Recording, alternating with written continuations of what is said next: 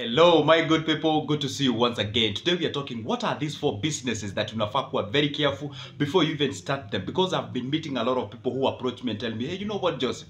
I started this business and guess what is happening? I cannot even see the value for my money. I'm frustrated. The business is now on the down drain. I do not even know what to do. And guess what I've done? Out of those guys who have approached me bearing on the same businesses that I'm about to discuss with you, I've realized there is one thing that they share in common that actually get them into problems that they do not even know how they can get themselves out of them. Guess what? Stick around, watch these four businesses. What are they? So you don't get yourself into them. Or maybe if you're already into them, then what can you do so that at least you get yourself to the next level? But guess what? Before we do that, take one second, just a single second. Guess what? It is free and fast. Up hivyo chini on your right, on your right, there is a button written subscribe. It is in black. Just hit it guess what? Then up go below on your left there is a button written just like this. Just hit that like. That is called a like. And guess what? It's very free. And it will be notified when you when i upload a new video because i know you're asking yourself what's the importance of that? I can just ignore and watch it. Don't do so. Just do exactly what i've told you. All right?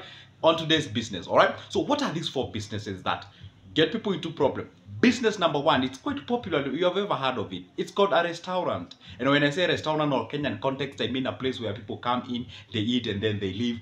We also call it hotel. We actually we don't even have the differences or something of sort. so this is a place where you actually prepare food for people. They come and eat they give you money then they disappear. A lot of people approach me and tell me what? Hey joseph i run a very good and successful uh successful business as far as the restaurant is concerned or a hotel is concerned. You see I, I do a lot of transactions during the day but when it comes to the evening when I'm doing my, you know, my, you know, you do the differences, the operational cost, vis-a-vis how much you've made, and so that you can be able to tell how much have you made in a profit or in terms of a profit in that particular day. When you pay your workers, if you have them, when you pay all your bills, when you pay back whatever you get all those foods and what have you, and then you realize you are left with nothing and whatever you've been left with it doesn't even make sense. It's not even the worth the job that you've done the entire day. Like somebody brought you some kuni or brought you some makaa brought you some unga brought you some things and whatever. So when you do all those calculations and then you pay your workers we pay your electricity what have you we call all those things operational costs. And then when you subtract that man that amount of money that you have the sales eh, minus the operational cost you're supposed to be left with a what? A profit. But then you realize like oh my I don't even have that much that I can even say that been make, making profit. All right. So that is the basis of where people go wrong. This is what you're supposed to do. A business like a restaurant, you're supposed to be very, very careful. All right is a business that you're supposed to have a book and something. You have to write down all the amount of money that you've used in buying certain thing and how much that does that certain thing make out of it all right? So because you cannot just assume like i just go ahead and buy i don't know a full bale of unga chapati and mix chapatis and make some beans and whatever and i sell to people or make fast food buy some kukus from farmers and sell to people and then i just you, you don't do that with business. You have to be very fine and good at numbers. By the way sometimes i used to have a friend of mine who was operating that kind of a business. And then sometimes why he was so free to the workers then workers could just you know you know dishing into the you know uh, the counter get some food get some tea. They could drink tea any moment. They want eat any moment. They want they were just like free. I'm not saying that you're supposed to limit people but in the process you are bulging what we call the operational cost. So you're supposed to be very careful. Do all your maths correctly so that you'll be able to get exact information and how much you can actually prospect how much will i make at the end of the day. That is very tricky. It's a very tricky business that you're supposed to be very careful. Before even you get yourself into it i would advise you interact with people who are operating the same business and get more information on how they're able to do their mathematics so they don't get confused along the way. All right? Stick around. Guess what? The next one is quite a good one. All right? And which is it? Is a general shop. This is quite most popular business that you find people in most cases when people start thinking of starting a business it's like kind of the very first business that click on your head. Ah but they want to start a business. And then they're like ah i can just start a general general shop all right when i say a general shop in a kenyan context i mean a shop that where you sell the it's like a convenience store in, in in us and what have you. So it's like where you're selling all these home commodities like the maize flour when you're selling like uh, you know sort of these common things. You get my point like bar soap and whatever sugar salt and what have you. So you find this is a quite a tricky business because most of the people don't even know how to calculate the profit because like you can't even have a track of how many bars of you sell how many kilos of sugar. Maybe for sugars you can tell uh, you don't even know how much you sell for sweets or how or candies or whatever you call them. So it's, it's kind of tricky business you can't even tell okay fine i made a sales of like 5000 today or 10000 or even 100000 then how much did i need all right so it's quite tricky. So at this particular point when it comes to this business i would advise you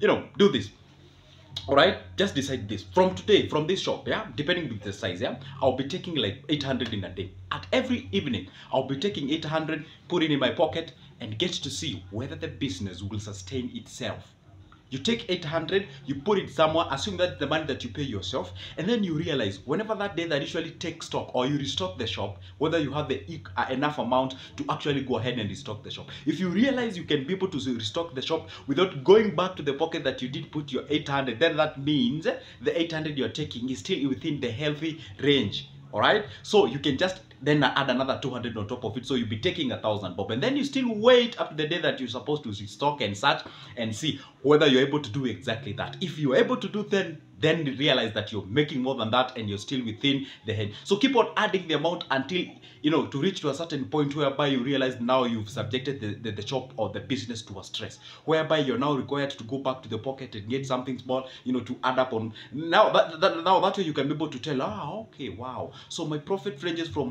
1200 1300 you get the thing yeah so you can balance it around that particular point and that's the only way you can be able to tell or should I say that is one of the only ways that you can be able to tell how much you make as a profit or in that specific business in a general shop. Guess what coming next? Hmm You guessed it right. Stick around and get to understand it. All right. So that business that usually find people in a very stressful moment, it's fruit business, or we call them the groceries and what have you.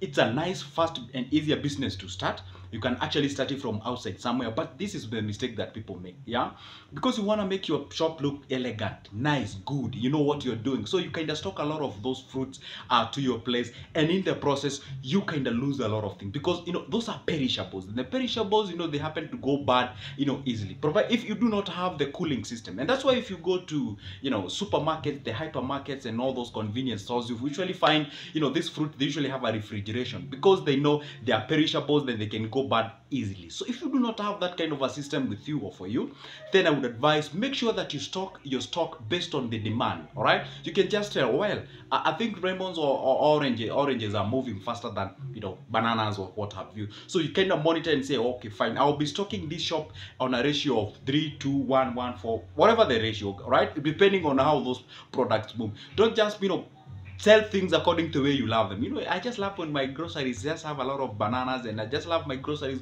when they have a or it has a lot of. You get the thing. So you should be guided by how much or the demand based on that specific product. So focus towards focus. I know focus towards stocking that specific item that you know it is faster moving, rather than you putting your money on areas that you find things are not moving. And by the way, if you make it, just bring you a little bit back and tell you something.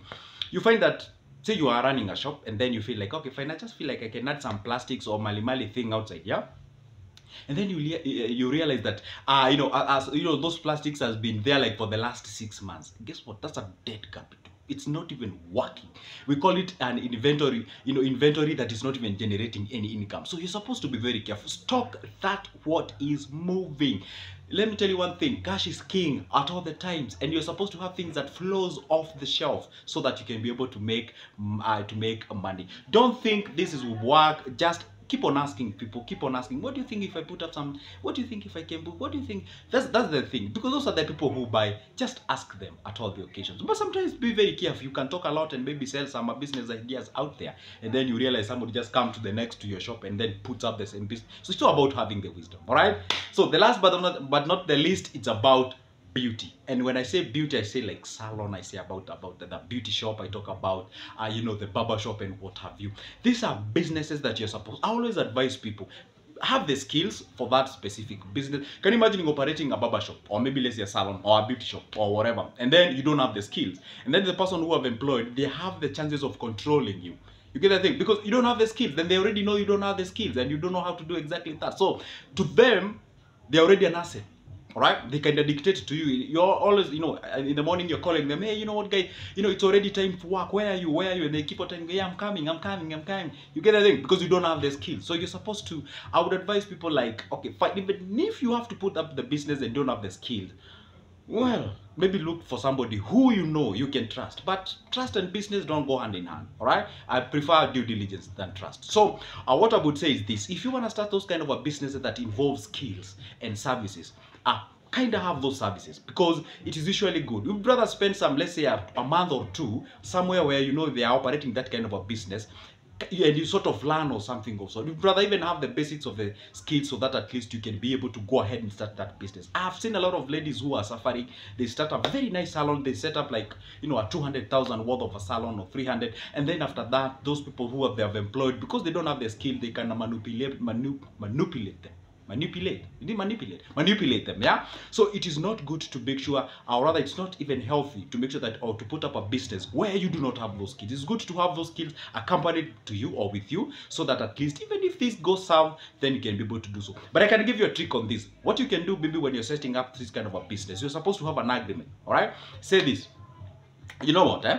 I'll be paying you a salary of this this a particular amount of money, but you have to show up at this time and this and this and this an agreement, a written document and a written agreement. So whenever they violate that, you can actually go ahead and sue them, and you can use the legal ways to actually, uh, you know, avoid this person to intimidate you or something of sort. And then after that, when the business now lays a foundation or have then the foundation of the business, now you can be able to shift back to you know what we call the incentives like commissions and what have you and things like that. All right. So because I know people usually take advantage and people, most of the people are out there to just make money from your business, and at the end of the day, they don't even care about you. That's the reality. It, I know it may be, you know, hard to swallow, but that's a fact. All right. So anyway, my name is Joseph. If you've never seen this face before, I talk about investment, I talk about money, I talk about anything related to your cash. So if that's a copy of your coffee, then stick around. And by the way, why shouldn't it be? Everybody, it's, it's everybody's favorite thing. Money, everybody loves money. I do, and I believe you do. And by the way, it is not bad. All right. So stick around. Make sure you subscribe. And how do you do that? It's very free. Just down below